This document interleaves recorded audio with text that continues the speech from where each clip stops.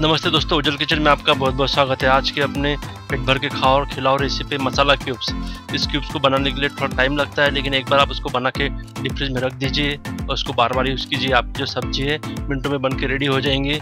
इसे बनाना बहुत आसान होता है और इसे यूज़ करने के लिए आप बहुत जल्दी इसको यूज़ कर सकते हो। आपके घर में मेहमान आते हैं या कुछ आपको गड़बड़ रहती है, सुबह टिफ़िन बनाने की तो उस समय आप इसको यूज़ कर सकते हो। और इससे सब्ज़ी बहुत बढ़िया बनती है। चलिए फिर स्टार्ट करते हैं अपने मसाला cubes.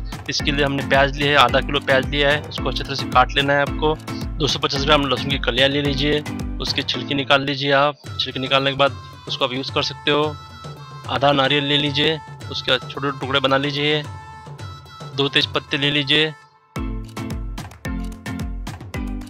One fourth cup poha ले लीजिए। पोहा से भी अच्छे आते हैं इसके टेस्ट। आठ इंच जिंजर ले लीजिए थोड़े से जिंजर के टुकड़े ले लीजिए, अदरक। अदरक आप कम ज़्यादा कर सकते हो अपने हिसाब से। और काली इलायची ले लीजिए, आठ पीस। दो इंच दालचीनी के टुकड़े ले लीजिए। दालचीनी से मसाले की बहुत बढ़िया खुशबू आती है और सब्ज़ी की भी बहुत बढ़िया टेस्ट और खुशबू आती है। इसलिए आपको दालचीनी यूज़ करना है। जब हमने प्याज लिया था, उसको अच्छी तरह से काट के आपको भून लेना है, ब्राउन होने तक। आप यदि इस वीडियो को पहली बार देख रहे हो, मेरे चैनल पर पहली बार आए हो तो चैनल को लाइक कीजिए, अपने दोस्तों को शेयर कीजिए, साथ ही सब्सक्राइब भी कर लीजिए और बेल आइकन क्लिक कीजिए ताकि नई कोई रेसिपी बनती है, सबसे पहले आप तक पहुँच सके। पाँच से दस मिनट के अंदर आपका प्याज भून के रेडी हो जाता है। देखिए, हमारा प्याज भी ब्राउन हो गया है। ब्राउन हो गया मतलब आपका प्याज भून के रेडी हो गया है। तब आप गैस की फ्लेम बंद कर सकते हो। जो हमने नारियल लिया था, उसको भी अच्छी तरह से टुकड़े करके उसको भी अच्छी तरह से भून लेना है। नारियल का कलर भी थोड़ा सा ब्राउन होना चाहिए। तो आप समझ सकते हैं आपका नारियल भून के रेडी हो गया है। इसमें के एक दो मसाला आपके घर में नहीं है एक दो मसाला एक्स्ट्रा है तो आप इसमें ऐड कर सकते हो। उससे भी आपके जो मसाले की टेस्ट है वो अच्छी बन जाएँगी। दालचीनी हमने भून ली है। उसके साथ जो काली इलायची, उसको भी अच्छी तरह से भून लेना है आपको। पोहा है, उसको भी अच्छी तरह से भून लीजिए। देखिए, पोहा भूनने के बाद इस तरह से बहुत बढ़िया दिखता है क्रंची क्रंची हो जाता है वो। जो हमने प्याज लिया था, उसको अच्छी तरह से भून लिया है। जो बाकी हमारे इंग्रेडिएंट्स थे, सब अभी एक डिश में हम रख दिए।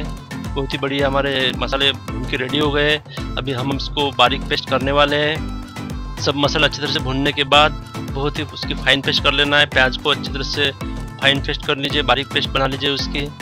जो नारियल होता है, या बाकी चीज़ें हमने जो भून ले एक एक करके सबको आपको बारीक पेस्ट कर लेना है। लगता है तो उसमें थोड़ा सा पानी मिल रहा है, लेकिन ज़्यादा पानी नहीं मिलाना है। जो हमने पोहा लिया, उसको भी आपको बारीक कर लेना है। सब मसाला अच्छी तरह से बारीक होने के बाद थोड़ा सा नमक भी उसके साथ मिलाइए नमक से मसाला ज़्यादा दिन टिकते हैं। नमक के साथ उसको फिर से एक बार बारीक कर लीजिए। ये देखिए, सब मसाले अपने बारीक हो गए, बहुत ही बढ़िया अपनी फाइन पेस्ट हो गई है।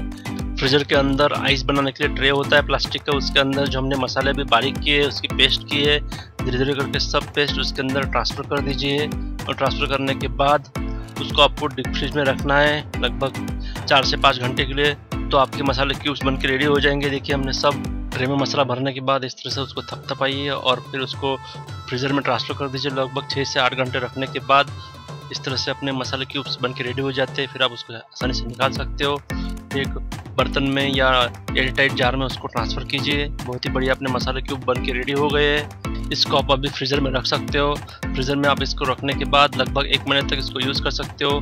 यानी कि आपकी जो हर सब्ज़ी बनने वाली है, लगभग दस मिनट का आपकी सब्ज़ी बन के रेडी हो जाएँगी। हमने इसको भी डीप फ्रीज़र में ट्रांसफ़र कर दिया है। फ्रीज़र में इसको ट्रांसफ़र कर दिया है। बहुत ही बढ़िया अपने मसाला क्यूब बन के रेडी हो गए इसको मैं यम्मी यम्मी टेस्टी तो नहीं बोल सकता, लेकिन इससे आपकी सब्ज़ी बनने वाली है। बहुत ही यम्मी यम्मी टेस्टी टेस्टी और आसानी से सब्ज़ी बन के रेडी हो जाएँगी, जो आपको भी खुश करेंगे, आपके घर वालों को खुश कर देंगी। जल्दी से आप इस रेसिपी को ट्राई कीजिए और आपका काम, घंटों का काम मिनटों में कीजिए, आपकी सब्ज़ी घंटों के मिनटों में बन जाएँगी।